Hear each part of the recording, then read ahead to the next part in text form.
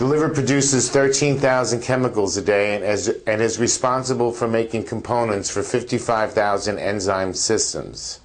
It digests fat.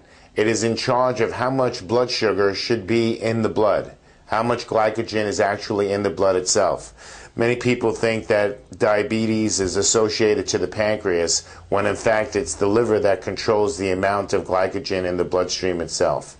The liver is also responsible for making sure that the blood pressure stays within normal limits, for if it does not, it damages the heart.